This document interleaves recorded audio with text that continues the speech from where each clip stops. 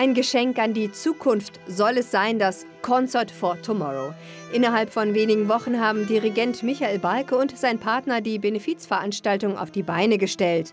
Die Einnahmen gehen an eine Musikschule in Butcher. Unsere Meinung ist, dass die Kinder eigentlich die größten Leidtragenden sind in diesem ganzen Konflikt und die hilflosesten. Und wir haben gesagt, wir wollen einfach was machen. Und erst war die Ohnmacht ziemlich groß und man denkt, man kann ja gar nichts machen. Und dann haben wir gesagt, welche Sprache gibt es, die mehr verbindet und die weniger Übersetzung braucht als die Musik. Mit dabei sind Künstler von Weltrang wie die Geigerin Arabella Steinbacher und der Tenor Levi Sekkapane. Hier spielen Musiker aus den Münchner Orchestern neben ukrainischen Newcomern. So wie Alexandra. Sie floh bei Kriegsausbruch von Odessa nach Warschau. Jetzt lebt sie in München. Uh, Wissen Sie, es ist wirklich schön. Ich mag die Leute hier sehr. Sie sind sehr freundlich, sie helfen alle. Wir fühlen die Unterstützung. Ich darf hier beispielsweise als Gaststudentin studieren. Es ist wirklich toll, dass wir die Chance haben, hier dabei zu sein to be here. Yeah.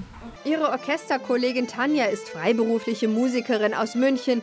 Sie ist von der ersten Probe begeistert. Ähm, es ist die Sprache, die alle verstehen. Und äh, ja, auch jetzt in den Proben wird zwar Englisch und Deutsch und alles durcheinander gesprochen, aber man muss gar nicht so viel sprechen. Die Musik ähm, erklärt sich von selbst meistens. Nicht selbsterklärend ist jedoch die Hilfsbereitschaft der Münchner. Dirigent Michael Balke ist überwältigt. Eine Geschichte hat mich total berührt. Uh, unser Symbol auf dem Poster ist eine zerbrochene Geige.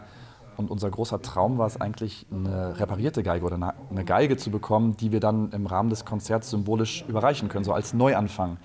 Dann haben wir einen Geigenbauer gefunden in München, der gesagt hat, ich stifte euch nicht nur eine Geige, sondern komplettes Kinderquartett. Das heißt zwei Geigen, eine Bratsche, ein Cello, alle etwas kleiner, direkt für die Kinder zum Benutzen. Und die gehen dann im Rahmen dieses Konzerts nach Butscha in die Musikschule dort. Das Konzert findet statt am kommenden Samstag in der Isar-Philharmonie. Alle Gelder, die mit den verkauften Karten eingenommen werden, fließen in das Projekt in Butscha, damit die Kinder eine Sprache lernen, in der sie die Kriegserlebnisse verarbeiten können.